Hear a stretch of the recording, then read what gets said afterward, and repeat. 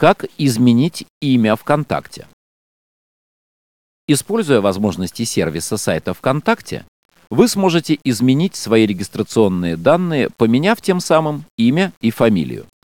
Для того, чтобы изменить имя в социальной сети ВКонтакте, необходимо в окне открытой личной страницы перейти по ссылке «Мои настройки». На обновившейся странице нажмите на кнопку «Изменить имя». В появившемся диалоговом окне необходимо ввести новые данные в соответствующих полях для ввода. Следует отметить, что для смены имени или фамилии страница должна быть заранее активирована. После ввода необходимой информации нажмите кнопку «Изменить». Заявка на изменение регистрационных данных будет подана.